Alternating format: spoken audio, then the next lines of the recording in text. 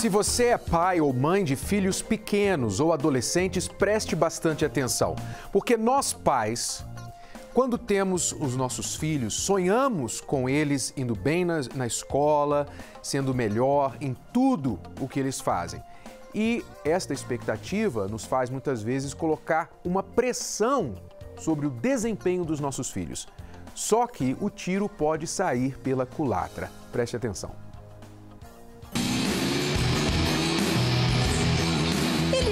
Uma agenda e rotina de mini executivos. Quer ver só? Futebol, judô, natação, artes, pulmão, música e só. Murilo não é o único. A irmã Ana Luísa tem uma rotina bem parecida. Faço ginástica rítmica, eu faço é, atividades esportivas, é, eu faço balé, faço música, eu faço arte, faço inglês, natação, judô. Eu prefiro mil vezes ficar na escola fazendo atividades, estudando, é, aprendendo, brincando, do que ficar em casa, por exemplo, assistindo TV. O objetivo dos pais é sempre pensando no melhor, preparar os filhos para o mercado competitivo. Tá valorizando o potencial de cada um, né? E a gente está oferecendo o que a gente pode de melhor, que é educação, cultura, né? E aí cabe a eles depois decidir qual o caminho, né? Que vão percorrer aí pelo, pelo futuro. Preço que se paga por tanto esforço. Apesar de pequenas, as crianças podem ter um problema de gente grande, o estresse. Isso mesmo, criança pode ficar estressada. Quando a rotina fica puxada demais, ela apresenta sintomas clínicos e de comportamento. Então, uma criança que gostava de brincar com os amigos, que gostava de jogar videogame, que gostava de jogar futebol, de repente ela começa a ficar avessa a essas atividades. Então, os pais percebem que além dela ter essa mudança de comportamento, é muito clássico ela não gostar mais de fazer aquilo que ela gostava até então. Criança que não vai se alimentar tão bem, não vai gostar de fazer atividade física, então é uma criança que fica mais propícia a ficar doente. Então, é muito clássico que uma criança que não tinha absolutamente nada e ela começa a ter aquelas clássicas viroses. Os pais têm que ficar muito atentos a isso, que é um sinal muito fácil de ver e é o primeiro sinal que eles dão de estresse e até também de depressão. Foi o que aconteceu com a pequena Gisele. Escola período integral, mas natação, balé, judô. E aí a pilha pifou. Primeiro ela ficou muito agitada, né? No, lá pro final do ano ela começou a ficar muito agitada, muito impaciente, muito estressada até seria a palavra, né? E, e o pior foi quando ela não queria mais sair de casa. Ela não falava assim que estava cansada. Quando ela começou a chorar para não ir, eu achei que fosse uma preguiça, né? Aquela manha de criança. Mas quando ela começou a se negar de sair de casa, é que eu realmente percebi que a coisa estava demais. Até o pediatra foi quem orientou a dar uma pausa com todas as atividades, né? Dr. Marcelo destaca que o ideal é que as atividades sejam introduzidas na vida das crianças aos poucos. O ideal é você começar com uma atividade por semana, pode ser natação, pode ser um judô, alguma coisa, que aí normalmente a gente faz de duas a três vezes por semana e vê como essa criança aceita. Ela aceitou de uma forma satisfatória, a gente pode passar para uma segunda atividade, por exemplo, uma aula de música, uma aula de canto.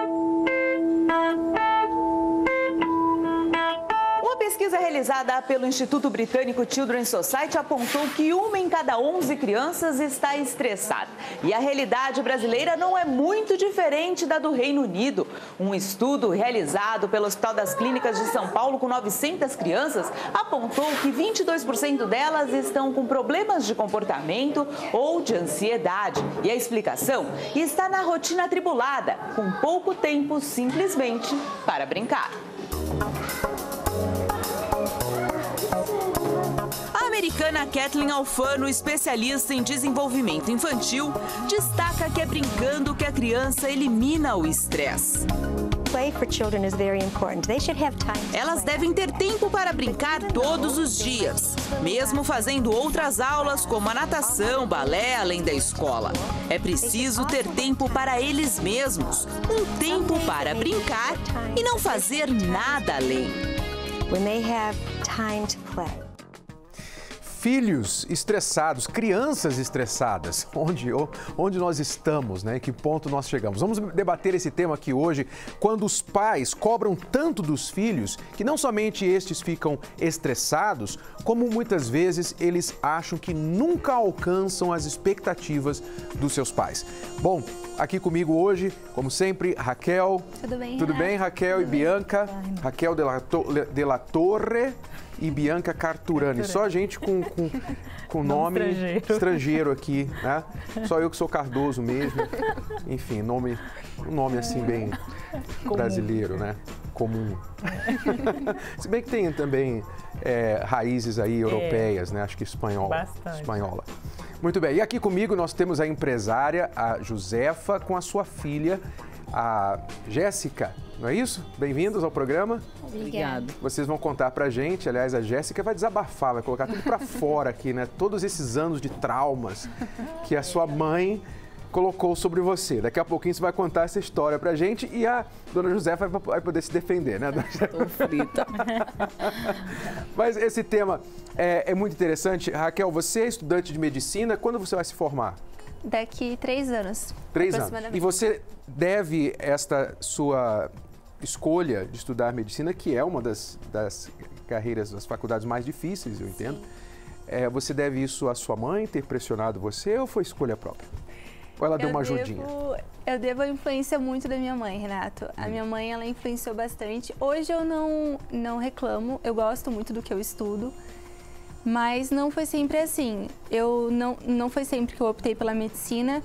Na verdade, antes de optar pela medicina, eu queria fazer jornalismo uhum. que é uma coisa que eu gosto muito, né? Mas a minha mãe uma vez conversou comigo e ela falou: por que, que você não faz medicina? E sempre foi um sonho dela, assim, cursar medicina. E eu pensei: bom, realmente, por que eu não faço medicina? Então eu fui fazer cursinho uhum. e passei. E no começo, eu, eu confesso que eu ficava meio em debate dentro de mim, sabe? Ah, será que é isso mesmo? Será que eu não devia ir para o jornalismo? Hoje eu vejo que não. Hoje eu vejo que eu gosto muito do que eu estudo, gosto muito do que eu faço e devo isso à minha mãe. Uhum. Talvez se eu fizesse jornalismo, não sei se eu seria tão realizada assim. Mas sim, teve influência sim da minha mãe. Então nisso. ela ajudou. Nesse caso deu certo, ela era muito. Deu certo. Ela sempre foi muito assim é, rigorosa com respeito às suas notas, ou comparava você, ou de alguma forma fazia você se sentir é, que nunca estava bom o suficiente, ou não teve esse problema? Na verdade, eu tenho uma irmã, né? E a minha mãe sempre foi muito pregando a disciplina comigo e com a minha irmã. A gente sempre foi muito disciplinada em relação ao horário, em relação a notas escolares, em relação à rotina, em relação a tarefas de casa. Então a minha mãe sempre foi muito rigorosa. Eu me lembro até que uma vez eu não fiz uma tarefa de casa, Renato. E aí o professor, né, teve aquele recadinho na agenda. E a minha mãe falou assim: você não fez? Então tá bom. Então você vai fazer 10 tarefas da mesma. E eu tive. Então, por a minha mãe sempre é, educar a gente assim, uhum. eu sempre ficava meio receosa antes de errar, né? Eu sempre tentava acertar. Mas sim, teve uma educação muito firme assim em casa. E em relação à comparação, é, não exatamente a comparação, mas como a minha irmã é mais velha, ela sempre foi um pouco prodígio, vamos dizer assim. Então, sim, havia um pouco de comparação entre eu e a minha irmã no sentido assim: olha a sua irmã, como ela faz, olha como é, olha para sua irmã e faça igual, olha só como a sua irmã vai bem nas provas. Então você tem que estudar para ser igual a ela. E também tinha em relação aos professores, porque todos os professores da minha irmã eram os meus. E qual o impacto que isso tinha em você, em termos da, do seu desempenho? Melhorava, te incentivava ou te desmotivava? Desmotivava totalmente. Porque eu uhum. nunca me achava boa o suficiente. Principalmente em relação à minha irmã, né? Eu nunca achava que eu era é, à altura, eu nunca achava que eu estava boa o suficiente para minha mãe é, até para os professores. E isso pode se estender até para outras áreas, além da Sim, acadêmica, né, são, nos estudos. São raízes, né? Igual você e a Cris sempre falam, são raízes que a gente traz e na criança, Renato, é inconsciente, né? Os pais pensam que comparando, pensam que falando, teimando num certo assunto, a criança vai reagir, a criança uhum. vai mudar, vai melhorar, não Eu sou prova disso. O método de comparação não funciona. Eles nunca funcionou. isso é um tipo de estímulo. E nunca funcionará. Não, não é. Exa- Não, não é. Acaba frustrando, né? Não é. Agora, Bianca, eu não sei no seu caso ah, como foi com seus pais, se eles pressionaram, exigiam o máximo de você ou não, mas eu sei que existe o, la- existe o lado positivo disso, né? Os pais eh, exigirem, esperarem o melhor dos seus filhos, também há uma certa motivação que é estimulada, mas tem o, o extremo que causa o efeito contrário. Mas o outro lado também é quando os pais não esperam nada dos filhos. Também é ruim, não é? Quando os pais não colocam expectativa alguma e, e tudo que o filho faz sempre está bom, então n- não tem estímulo para o filho melhorar. Não tem uma meta, né? A pe- A, a criança não cresce com aquela meta de alcançar algo, isso é importante. No meu caso, Renato, não tinha nada assim pré-estabelecido. Ah, minha mãe nunca falou, olha, eu quero que você seja isso, eu quero que você seja aquilo, não. Mas ela sempre me estimulava a ser melhor. E assim, graças a Deus, nunca tivemos esse tipo de comparação, mesmo sendo uma família grande. E eu sou filha da velhice da minha mãe. Então, quando eu nasci, meus irmãos já eram todos grandes. Então, assim, não tinha esse tipo de comparação não lá em casa. Então, minha mãe sempre falava, eu quero que você seja uma pessoa de bem. É porque normalmente vem, vem com. costuma ser o mais velho, né? O mais velho, os É. primeiros têm uma exigência maior. As- né? os meus irmãos mais Os velhos no- falam isso. Os novinhos já, É. ah, já- É bem assim né? mesmo. Já- toda a canseira dos pais já foi nos mais velhos, né? Os meus irmãos mais velhos falam pra mim assim, olha, você conheceu um pai e uma mãe diferente da gente. Você chegou numa época que tudo já estava relaxado. É. E realmente há uma diferença muito grande do meu comportamento, da minha personalidade para os meus irmãos mais velhos, sem Ok. comparação. Bom, Jéssica, você é mais velha? Sim, sou mais velha. É verdade essa teoria aí? que Muito verdade. Você tem irmãos? Tem, tem uma irmã que ela é dois anos mais nova que eu. Sofreu um pouco, mas não tanto quanto eu sofri. né? Ok, conta pra gente então aí, como, como era? Você sentia que a sua mãe cobrava demais de você? Sim, minha mãe cobrava muito. Tudo, tudo ela cobrava. Tanto de na escola não podia ah, existir nenhuma reclamação e não, não podia ver nada que não que ela não gostasse, na verdade. Que ela que ela já estava assim, ou me comparando, ou então exigindo mais, nada nunca estava bom. Eu, me- eu sempre por ela ser muito exigente, eu sempre quis ser a melhor em tudo. E eu sempre quis agradar muito a minha mãe em tudo que eu fazia. Só que nunca estava bom. Ela sempre reclamava, sempre me criticava. Às vezes ela já chegou até a me comparar também com a minha irmã. Mas eu sempre sofria essas perturbações. Dona Josefa, isso é instintivo, eu creio que é para quem é pai, não é? Porque a gente pensa que está motivando o filho a ser melhor. É, e é, é como se nós não, não percebêssemos, porque do lado de fora, quando a gente olha do lado de fora, alguém fazendo isso com o filho, a gente logo vê, mas parece que no nosso caso a, a coisa muda de figura, porque eu também já cometi este erro. Ah, eu não sei no, no caso da senhora como que era as motivações, o que a senhora pensava quando cobrava muito da, da Jéssica. Com certeza, o meu ponto de vista, querendo que ela fosse a melhor, eu não enxergava isso. Então, o que eu fazia? Se ela não fizesse 100, o 99 para mim não estava bom. Então, se ela tirasse 9, era, uma surra estava certa. Era assim, então ela tinha que tirar 10, no máximo estourando 9. Eu cobrava, eu falava o que ela ia ser. Ela ia ser advogada pronto, ela ia ser isso, ia ser aquilo. Eu colocava a minha posição do que elas deveriam fazer. E isso aí acabou afetando muito elas e eu não percebia. Eu queria o melhor e eu achava que, no meu ponto de vista, o que eu estava fazendo era o melhor.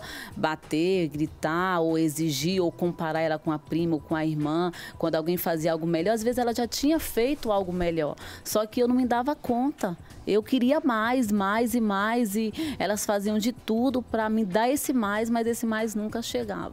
E isso tinha origem onde? A sua mãe foi exigente com você ou não? Minha mãe foi muito exigente, só que nunca teve diálogo com a gente. Então eu também não aprendi a não ter diálogo com as minhas filhas. Então era você vai obedecer, pronto e acabou. Você vai para a escola agora, você vai tomar banho agora, você vai ser isso, você vai, vai ser aquilo. E se não fosse, ou então olhasse torto ou feio, poderia podia ter certeza que uma surra ou um castigo era certo, ou ficar sem algo. Era desse jeito. E eu acabei adotando esse método que não me levou a nada em relação às situações que eu queria. No momento, no meu ponto de vista, eu consegui, estava ótimo, mas depois que eu abri meus olhos, eu vi que não. Bom, a gente vai descobrir daqui a pouquinho qual o resultado desses métodos aí, o que aconteceu de fato no desempenho da Jéssica né? e no relacionamento mãe e filha. Mas veja só, você que é pai, você que é mãe, deve entender que muitas vezes você espera do seu filho aquilo que ele não pode entregar, aquilo que ele não pode fazer, até mesmo por questões psicológicas, questões até da dificuldade no aprendizado. Veja só esta matéria que mostra a dificuldade que crianças disléxicas têm no aprendizado.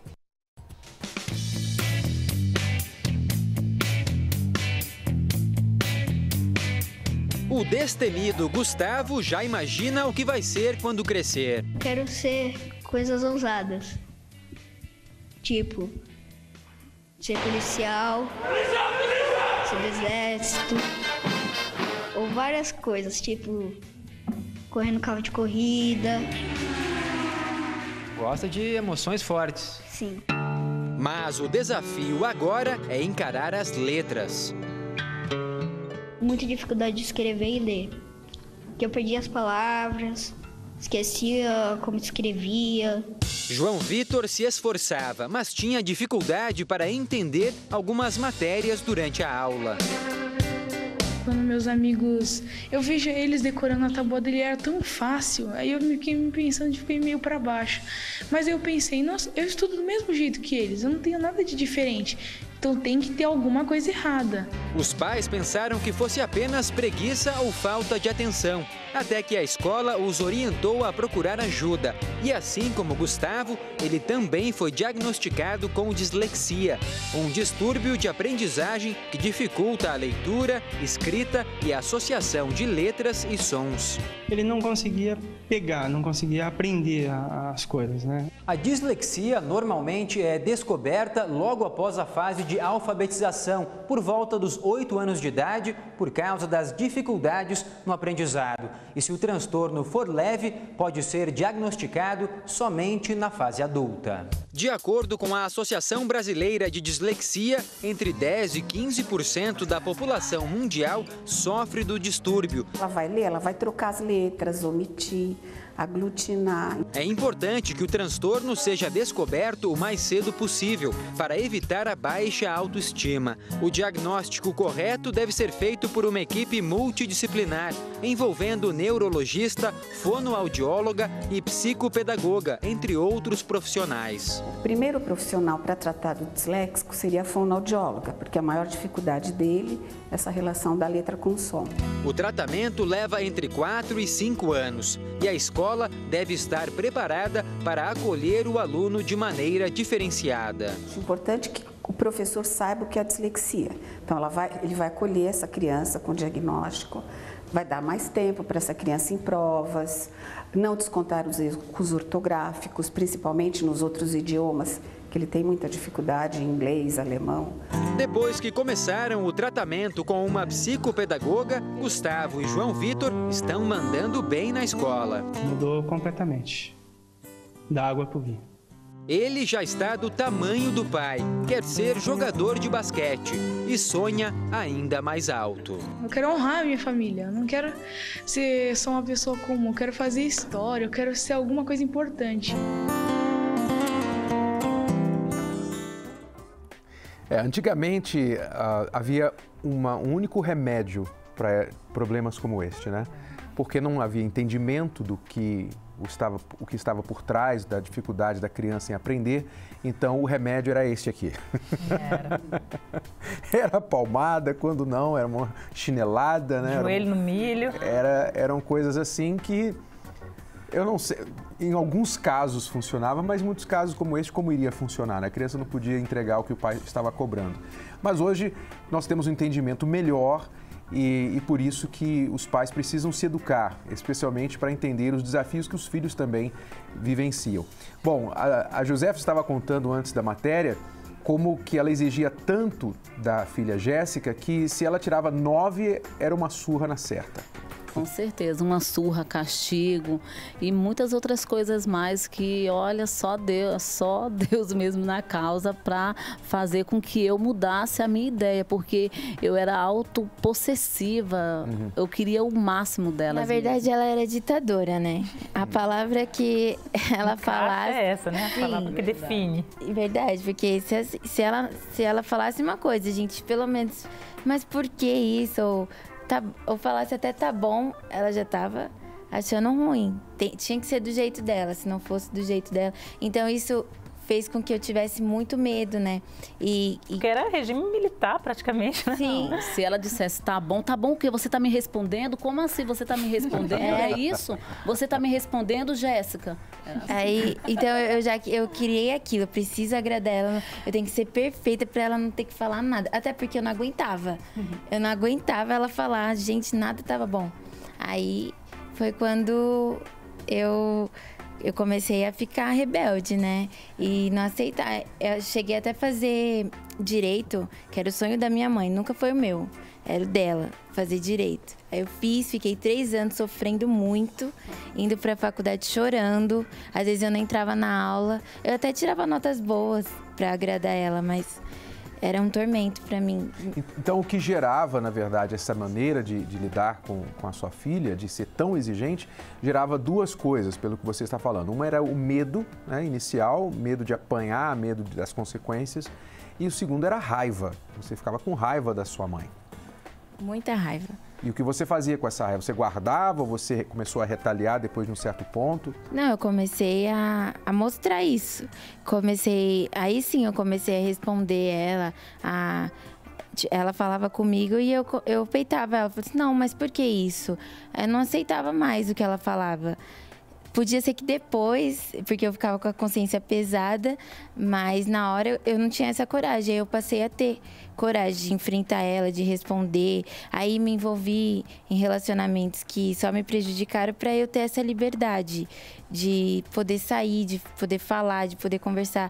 Eu procurei também, eu sempre tive, por causa disso, amigas mais velhas. Como eu não tinha minha mãe para ser minha amiga e não podia contar o que eu sentia, então eu comecei a, a, ter amigas mais velhas na escola. É, minhas tias também começaram a ser mais minha amiga do que minha mãe. Então eu me afastei muito mais dela com isso. Então eu imagino, é, Josefa, que a, quando a Jéssica chegou a uma certa idade, você deve ter sentido que começou a perder o controle dela. Ou seja, ela começou a ter comportamentos que peraí, eu estou perdendo o controle da minha filha, ou não, não, não foi assim? Não, com certeza. Eu me senti tão assim acuada, como assim eu estou perdendo o controle da minha filha, só que eu era tão ditadora, tão orgulhosa, não queria demonstrar que eu estava errada. Então eu estava certa, pronto. Então eu entrava no quarto, era onde eu chorava sem elas saberem. Eu sofria muito, muito mesmo. Ela não tem noção do quanto que eu chorei sozinha no quarto para que não demonstrasse que eu estava sofrendo. Eu queria mostrar que eu era ditadura, que eu era,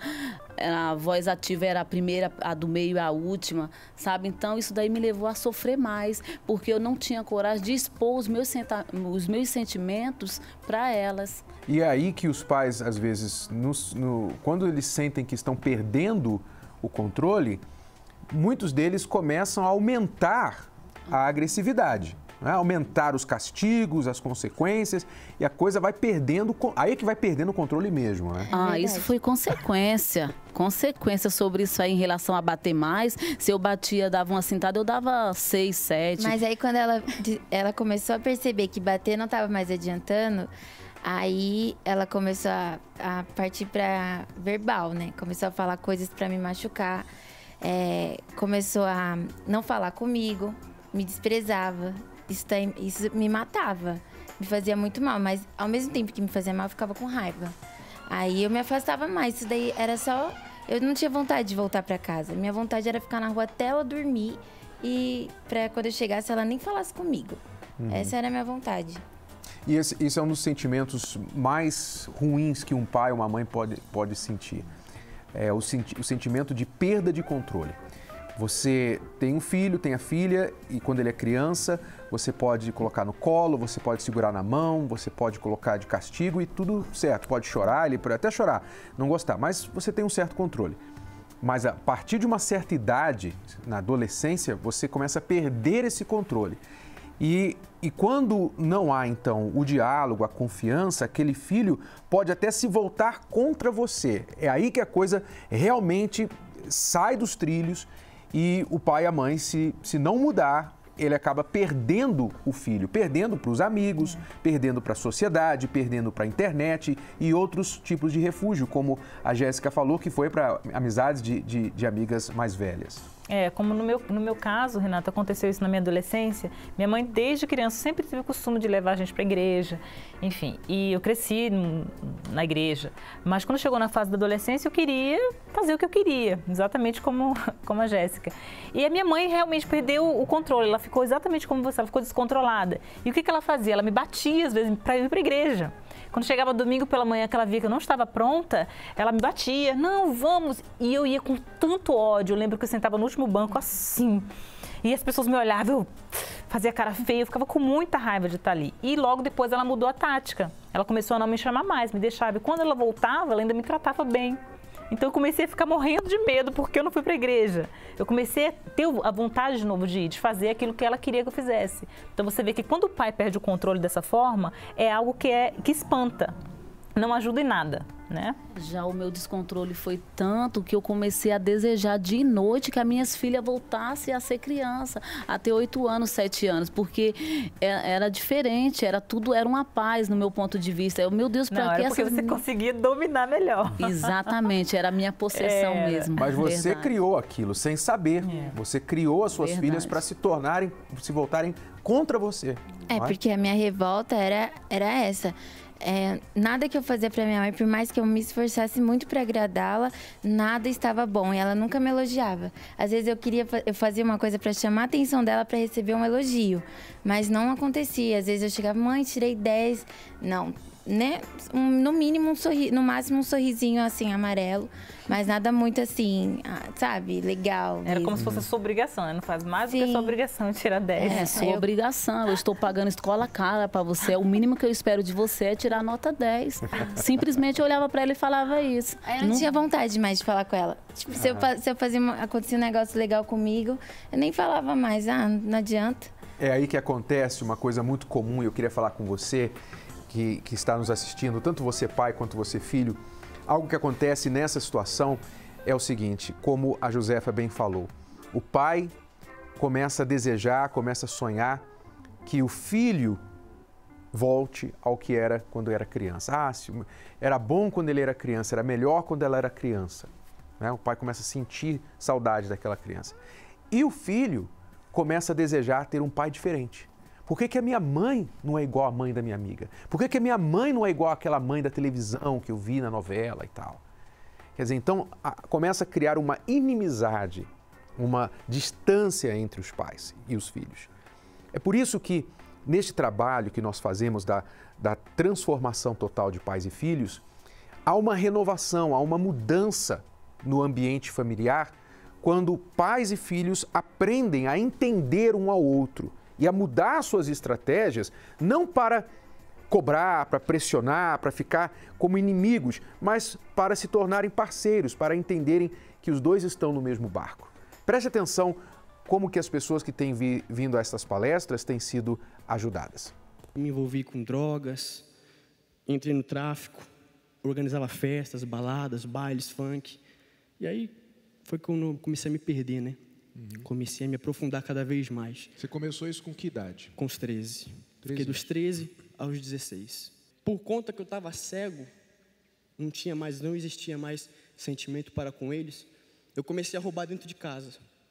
Comecei a pegar dinheiro escondido, roubei a aliança de casamento deles e vendi para sustentar o meu vício das drogas, das bebidas, da ostentação, que muitos jovens hoje em dia caem nisso pior momento foi quando eu quase fui preso.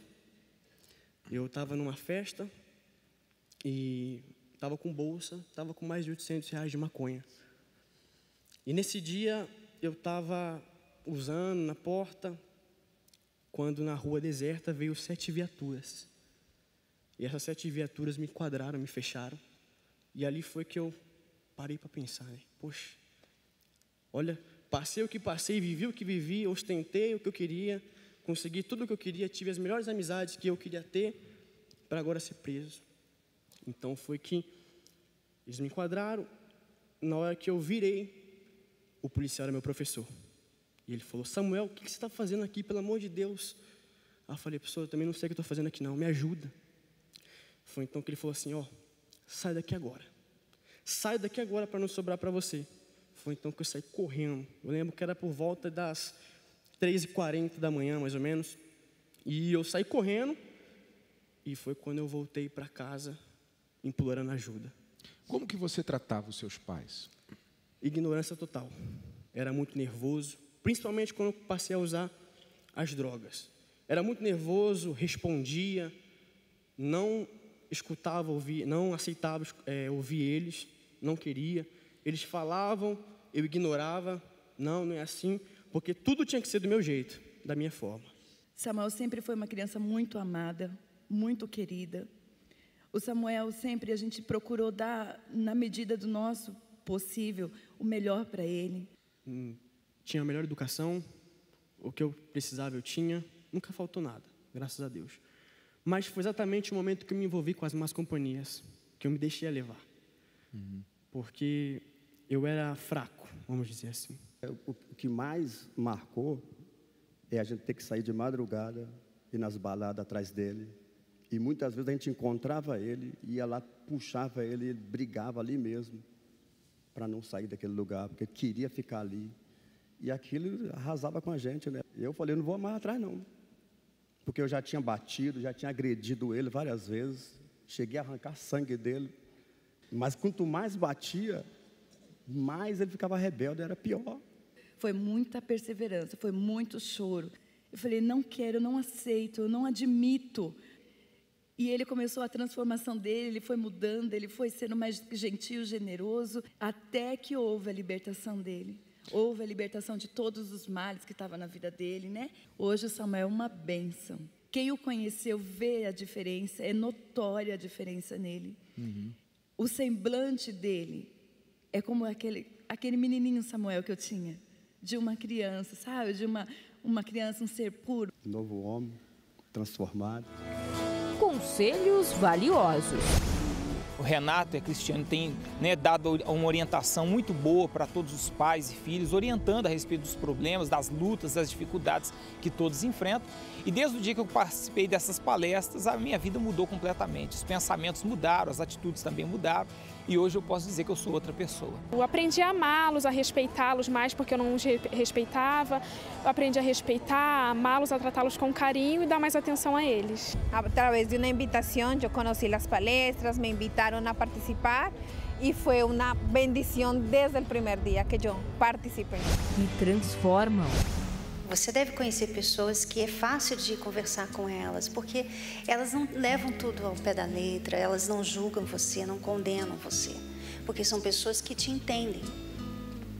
Então, é uma forma também você, pai e mãe, conquistar talvez algo que você perdeu dos seus filhos, o respeito, carinho, relacionamento. É você, você vai se tornar uma pessoa agradável, porque você não vai estar mas condenando aquele filho, aquela filha, você vai estar entendendo, você vai estar compreendendo. Você vai estar ao lado dela e não apontando o dedo para ela. Através da televisão, né, eu, eu ouvi falar sobre a palestra de pais e filhos né, falando testemunhos, mostrando testemunho das pessoas que tiveram a vida transformada, tiveram, sabe, uma vida totalmente mudada. E a partir daí eu vim porque eu vi que ali ia, ia haver uma solução para o meu problema, ali ia mudar totalmente a minha vida. Nós temos um convívio familiar excelente com a minha mãe, hoje eu sou bem casado, tenho a minha esposa, é, com a minha mãe nós não temos mais problemas, né? Os vícios também que no caso a minha mãe tinha, eles acabaram, ela também se libertou, eu me libertei e hoje nós podemos dizer que nós somos uma família né, abençoada, uma família feliz. Eu voltei a falar normalmente com meu pai, porque conforme tudo isso ter acontecido, eu parei de falar com ele, fiquei com raiva. E a união entre minha mãe e meu pai, eles se dão super bem. Então mudou totalmente a minha vida. Minha família é unida, há amor, há compreensão, há respeito, é totalmente transformada. Aos domingos, às 18 horas, Renato e Cristiane Cardoso dão dicas e conselhos para pessoas que desejam encontrar a felicidade dentro do lar. E é aqui, na palestra Transformação Total de Pais e Filhos, onde tudo acontece. Você que é jovem e quer tanto que seus pais te entendam, você quer tanto ser maduro, eu digo para você: o primeiro sinal de maturidade em um jovem é quando ele começa a entender os seus pais. Quando você começar a entender os seus pais, você pode começar a dizer que você começou a amadurecer. Enquanto você não entender os seus pais, inclusive os erros deles, se você não entender os seus pais, você nunca amadureceu. Hélia veio buscar ajuda por causa dos filhos. Cada vez que eu venho aqui, eu aprendo mais de me controlar, ter sabedoria para falar com meus filhos, que antigamente eu não tinha. E muitas das vezes eu me desesperava e às vezes queria bater neles e falava coisas que eu não deveria falar. Com as palestras, as coisas mudaram. Aqui a gente aprende a ter um autocontrole. Cada domingo que eu venho aqui, eu, eu, me saio, eu saio daqui é fortalecida, com mais experiência. Saio. Assim, a gente. Parece que a gente encontra um renovo para cada dia lutar por eles. Participe! A palestra com Renato e Cristiane Cardoso acontece neste domingo, às 18 horas, no Templo de Salomão, na Avenida Celso Garcia, 605 Brás. Lembrando que a entrada é franca. Nesta palestra, pais e filhos têm conseguido vencer aqueles problemas que separam os dois. O filho fica no quarto, fica enfiado na tela do computador, do celular, não quer falar com a mãe, não quer falar com o pai, entra pela porta da frente, vai direto para o quarto e depois quando sai de lá não fala nada, só quer, só sai para comer, só sai para sair, depois voltar de novo. Esse ambiente familiar começa a mudar quando os pais começam a aplicar aquilo que aprendem na palestra da transformação total de pais e filhos, que a Josefa e a Jéssica vão falar a respeito daqui a pouquinho que aconteceu com elas também. Mas eu gostaria de chamar a sua atenção para um caso que é totalmente oposto, é diferente do que você está vendo até aqui no programa. A Kátia, mãe do Alexandre, ela era o oposto. Quem era o problema na vida eh, dessa família era a mãe. E o Alexandre, como filho, como jovem, tinha que ser o exemplo e cuidar da própria mãe. Veja só a história interessante dos dois. Eu via o sofrimento dos meus avós por causa dela eu mesmo sofria e eu parti para cima. Eu queria mudar essa situação. Eu, Como que ela estava sofrendo?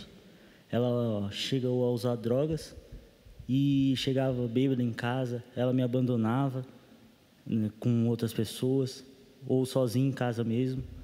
Eu, eu fui a mãe que dei problema para o filho. Eu me envolvi com o mundo, eu me envolvi com drogas, eu usava droga todos os dias. Então, não tinha consciência, não tinha consciência de mãe, não tinha consciência de filha, não tinha consciência de nada. Então, eu abandonava ele, né, como ele falou, eu abandonava ele às vezes em casa. Uma vez eu, eu abandonei ele por cinco dias, uma semana, no, com, com uma outra criança. E ele ficou em, uma, uma, semana em casa e eu fui viajar. Fui para o Paraguai, fiquei lá, já deixei ele 15 dias é, sozinho. E assim, é, ele, ele foi usando a fé dele, ele foi participando das palestras, recebendo os ensinamentos. Eu não fiz o meu papel de mãe com ele, eu não fui uma mãe para ele, mas ele nunca deixou de ser filho. Foi interessante que assim, eu pedia para ele as coisas, né? Filho, faz isso. Para mim, ele sem reclamar, geralmente filho faz assim: "Ah, não vou fazer" não quero fazer. Ele nunca fez isso. Ele ia lá e fazia. Uhum. E aquilo me chamava atenção, porque quando você faz uma coisa ruim para uma outra pessoa, automaticamente você espera que aquela pessoa vai te fazer mal também, vai, vai te fazer alguma coisa ruim também. E ele não. Ele ia lá e me obedecia, e aquilo me. Eu ficava assim, eu falei, meu Deus, o que, que eu estou fazendo? Aí foi quando eu comecei a observar né, o que uhum. é que eu estava fazendo com a minha vida e com meu filho. Eu vinha pensamentos na minha cabeça para não obedecer a ela, para não respeitar, para não fazer o que ela pedia. Vinha pensamentos assim porque ela não me dava um exemplo de mãe. Só que eu fazia o contrário dos meus pensamentos. Eu fazia o que um filho faz, obedece aos pais, honra o pai e a mãe. Era difícil, só que eu não desisti. Então você não tinha pai, não tinha mãe presente, a mãe era drogada. Você não usou isso como razão para se revoltar? Não. Isso me motivava a continuar. Ele começou a participar das palestras, ele começou a ouvir os ensinamentos, porque eu, eu pensava assim, ele tão novo, ele participa das palestras, ele tem esse comportamento, quem sabe eu também não consigo mudar o meu comportamento, ser também uma pessoa do bem. Você deixou a droga, tudo? Eu deixei, eu deixei as drogas. É, no, no, momento que eu deixei as drogas foi assim, é, eu tinha ali é, uma grande quantidade de drogas para usar, porque eu andava com pessoas de classe média alta, então tinha uma grande quantidade de drogas, drogas para usar, e eu falei assim, ó, a partir de hoje eu não quero mais. Riram de mim, falaram, imagina, as coisas não funcionam assim, você é viciada, você é drogada. E aí eu disse, não, a partir de hoje eu não quero mais. E a partir daquele dia eu decidi que eu não queria mais e voltei para fui participar das palestras com ele, dos ensinamentos com ele, uhum. e aí tudo mudou. E aí hoje eu não tenho mais nenhum vício e hoje nós somos grandes amigos. Hoje eu tenho ele como um filho e um, um, o meu melhor amigo. Ele é o meu melhor amigo. Eu ponho uma roupa, eu pergunto para ele se está bem. Eu, eu quero saber a opinião dele. Há quanto tempo você está mudada? Tem três anos e quatro meses. Hoje eu vejo o fruto que eu plantei no passado, né? É um caso muito curioso porque o Alexandre tinha tudo para se tornar um jovem revoltado, um jovem rebelde, né? E com causa, não sem causa, com causa, porque a mãe dele, drogada, enfim, o abandonava quando criança, mas veja que ele tirou força da fraqueza. E ele não somente não debandou para o caminho errado, mas também foi a razão principal da mudança da sua mãe. E ele conseguiu esta força, essa ajuda através das palestras Transformação Total de Pais e Filhos. Quem sabe você, filho, você, filha, sente a mesma coisa que o Alexandre sentia pela mãe. Você olha para os seus pais, você talvez não tenha exemplo, você vê os seus pais fracos, os seus pais entregados ao, aos vícios, à separação e você se sente até desprotegido e sem saber o que fazer. Você gostaria muito de mudar a situação dos seus pais, mas com as suas mãos você não pode. A palestra ajudou o Alexandre e poderá ajudar você também. Convidamos você, jovem, para estar com a gente. Neste domingo, às 18 horas, é quando a palestra acontece. Aqui no Templo de Salomão, eu estarei aqui com a Cristiane, a minha esposa, falando da nossa experiência como pais e também passando os segredos, as dicas que nós temos aprendido cuidando de pais e filhos por muitos anos. Se você deseja nossa ajuda, se você quer participar da palestra, ela é gratuita, aberta ao público, começa às 18 horas neste domingo aqui no Templo de Salomão. Para mais informações, ligue agora para o telefone aí no seu vídeo. E se você quer conversar com alguém sobre sua situação também, nós temos a nossa equipe preparada aí para atendê-lo. Daqui a pouquinho nós vamos responder perguntas da, da, dos nossos alunos sobre situação de pais e filhos, mas vamos continuar com a conversa aqui com a Josefa e a Jéssica, que então, para quem sintonizou agora, a Josefa, mãe da Jéssica,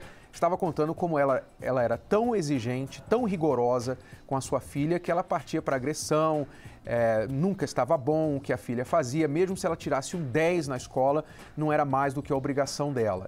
Então, isso fez com que a Jéssica desenvolvesse medo da mãe e raiva, não é isso, Jéssica? Sim, isso mesmo. Inclusive, tem algo que eu nunca falei, que eu tô, vou falar agora até para ela. Revelação, atenção. que e até pedir desculpa por ter pensado isso e abriu minha mente na palestra. É, teve uma época que eu cheguei a culpar ela é, pela separação, porque eu sofri muito com a separação dos meus pais e ela era muito chata, porque eu achava ela chata. A exigência dela fazia ser uma pessoa muito assim, insuportável. Eu cheguei a pensar isso da minha mãe, que ela era insuportável. Então, assim, eu, eu, culpa, meu pai era muito carinhoso, o oposto dela. Tudo, tudo que eu fazia pro meu pai era extraordinário e eu queria essa atenção. E como eu não tinha mais essa atenção dele, porque ele não estava mais na minha casa, eu culpava ela. Ah, meu pai saiu de casa porque ela é chata demais. Ela é insuportável, ninguém aguenta. Uhum. Então, na palestra, eu pude entender que eu tenho que entender o lado dela. Eu não entendia por que, que, era, que ela era, é assim. Era, no caso, né? Graças a Deus que mudou. Mas eu não entendi, eu passei a entender, a me colocar no lugar dela. como mãe, né? Como também que ela sofreu bastante. Eu tinha que entender, eu não conseguia ver. Uhum. Até porque ela, ela era tão ditadora que ela não mostrava nem sofrimento. Então não dava nem para perceber que ela estava sofrendo tanto assim. Uhum.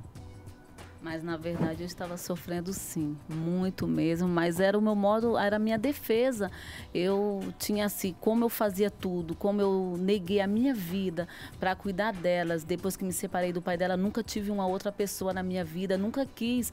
Então isso daí me fez ser mais rigorosa. Poxa vida, eu deixei a minha vida, deixei a minha vida sentimental, minha vida to, tudo deixei por elas. Então, a obrigação delas hoje é me obedecer e fazer tudo que eu quero do jeito que eu quero. Uhum. Então, eu não via outra maneira. Não via mesmo e isso daí foi me levando a mais erros e mais erros, mais me tornar muito mais exigente. Por quê? Porque eu dava tudo de mim, eu não vivia para mim, eu vivia para minhas filhas como até hoje eu vivo muito, só que hoje eu já tiro o, o, meu tempo. Só que realmente eu vivi minha vida em função delas. Então isso daí me tornou mais possessiva. Uhum. Então, então, vindo às palestras, vocês duas, a, a Jéssica acabou de dizer que passou a entender a mãe, o lado da mãe, como você não entendia antes. Ah, e no seu, do seu lado, Josefa, o que as palestras lhe ajudaram neste convívio com a sua filha? Então, aí que veio a palestra exatamente, foi aonde eu comecei a ouvir mais elas, dar mais atenção, prestar atenção no que realmente seria melhor para ela, ouvir o que elas, ouvir a opinião dela, porque era só a minha até então. Então foi aonde através das palestras eu abri campo para que elas pudessem se defender, colocar as suas vontades. Isso daí tem me ajudado muito no nosso relacionamento, no meu relacionamento para com elas. Se tornou e... uma democracia na sua casa. Né? Exatamente. Mudou, saiu a ditadura, né? Mudou, mudou totalmente. Hoje eu dou muito espaço mesmo. Às vezes eu me pego, meu Deus, estou dando espaço até demais, mas eu estou deixando porque é o que eu aprendi, eu estou colocando em prática e está sendo muito proveitoso mesmo. Outra coisa que também eu tive muita dificuldade, em, mesmo eu sabendo que eu estava errada, porque muitas das vezes eu sabia que eu estava errada, só que eu não queria assumir o orgulho, eu sou mãe, é eu que mando, pronto, e acabou. Mas muitas das vezes eu quis pedir perdão em certas situações, em certas surras que eu dei, em, certos, em certas comparações que eu comparei minha filha com pessoas que ela, eu, hoje eu consigo ver e entender que ela é 10 mil vezes melhores, hum. melhor. Então, eu quero pedir perdão para você aqui na frente de todo mundo. Pedir perdão por todas as vezes que eu te comparei com outras pessoas que hoje eu reconheço que você é muito melhor, muito melhor mesmo e Hoje você pode chorar, não tem problema. As suas lágrimas hoje são Entendeu? Então, realmente, de olha, para eu chorar realmente, eu tenho que e pedir desculpa também, né? Porque eu esperei muito muito, tempo. Às vezes o erro estava explícito né? e ela. Então hoje, então hoje você está vendo, o mundo está vendo, eu pedindo perdão para você. Me, me perdoa. transformação total mesmo, hein? Total. É, Essa transformação foi total mesmo, né? E esse é o intuito do trabalho da palestra, né? Renato? Exato, exato. Que então legal. veja que é. em pouco tempo, né, que vocês estão vindo à palestra, a, as palavras que vocês ouviram e têm aprendido têm mudado a maneira de vocês enxergarem uma outra e enxergar a si mesmas, né? E agora está muito mais leve, está melhor, né? Tá ótimo, tá Hoje maravilhoso, é transformação total, transformação sorriso, né? Uma leveza. de mãe, de filho, de pai, tá transformação geral lá em casa. É ah. É algo assim que até eu mesmo fico, meu Deus, sou eu mesmo. Aí de repente eu olho para o espelho, não sou eu mesmo. E a transformação, né, Renata uhum. e só acontece quando a pessoa quer ser transformada. Uhum. Porque eu vejo assim, é, a dona Josefa, ela não era uma mãe, vamos dizer assim, carinhosa com a Jéssica, porque ela nunca teve isso na casa dela.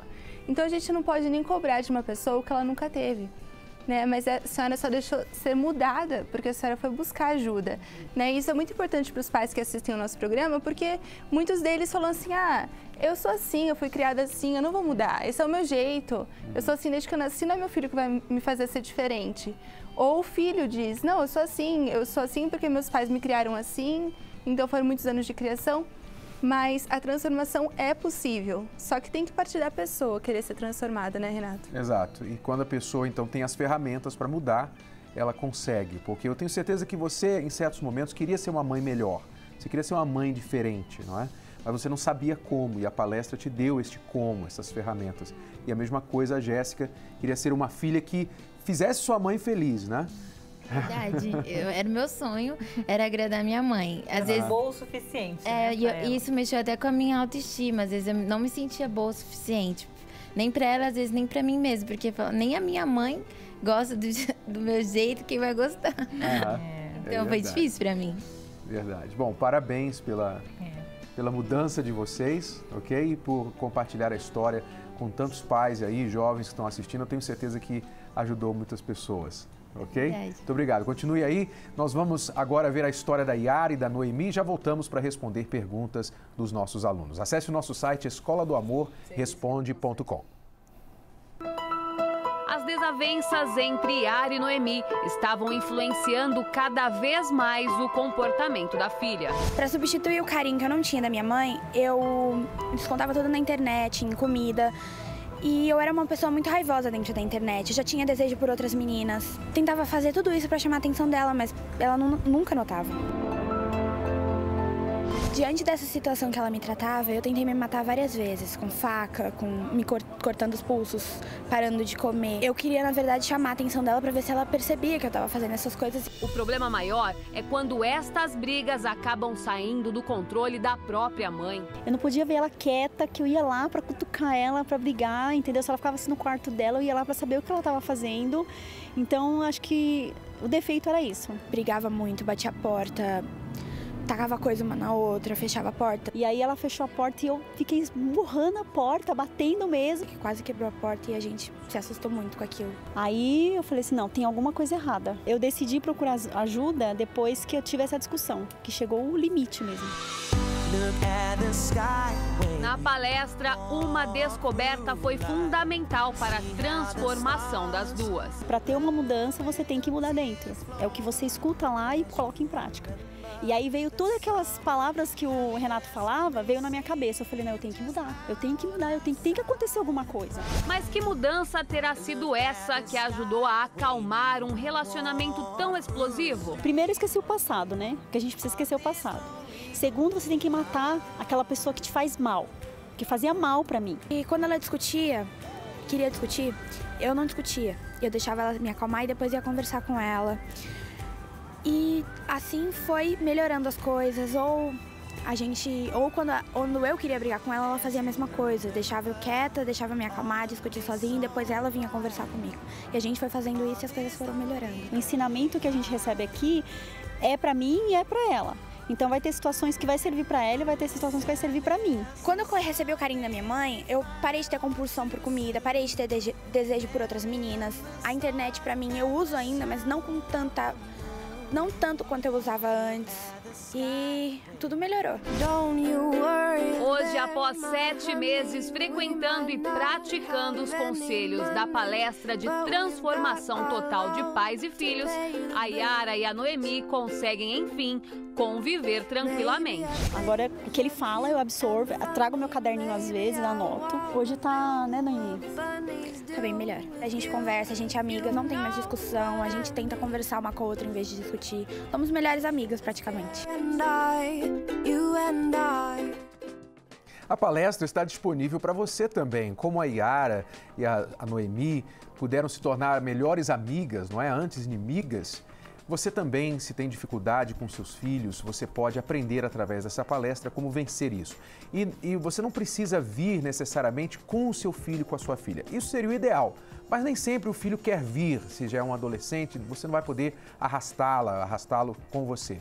Mas você venha, porque o- a mudança sempre começa com uma pessoa, tá bom? Neste domingo, 18 horas, aqui no Templo de Salomão, Transformação Total de Pais e Filhos, a palestra para você aprender a melhorar o convívio familiar. Vamos agora responder a pergunta do Renato, do Grajaú, que nos escreveu.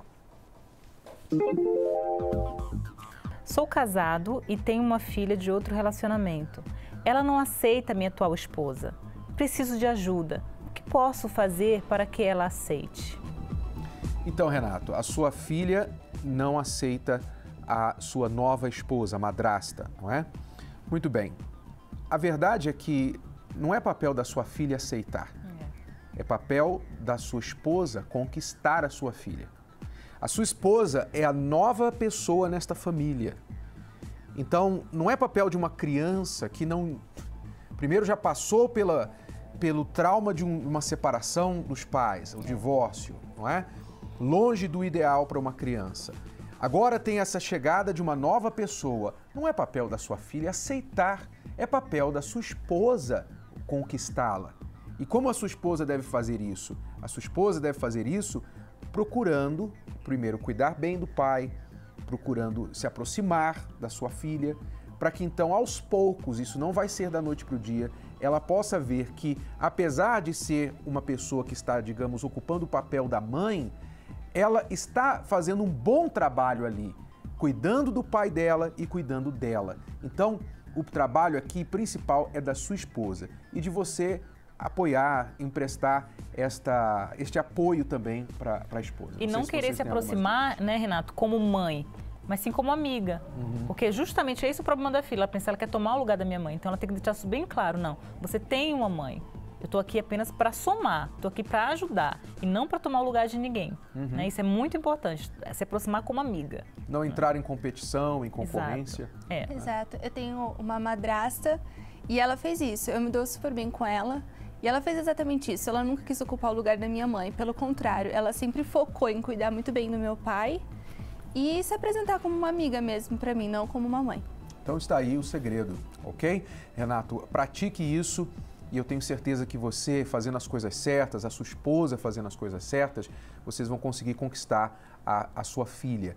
E se você precisa de ajuda e você quiser, a palestra está à sua disposição aqui no Templo de Salomão. Se você tem uma pergunta sobre relacionamento de pais e filhos e quer a nossa ajuda, o nosso conselho, você pode acessar agora o site escola do amor responde.com. Ali tem um formulário, preenche e você assiste o programa para receber a sua resposta ou você receberá a resposta pela nossa equipe por e-mail, tá bom? Bom, vamos ficando por aqui. É tudo por hoje. Muito obrigado novamente, José. Obrigado, Jéssica. Felicidade para vocês para sua irmã. Obrigada. Tá bom? E a Escola do Amor Responde volta na próxima semana. Obrigado, alunos, e até a próxima. Tchau, tchau. A wonderful show. It's the most intelligent show on television.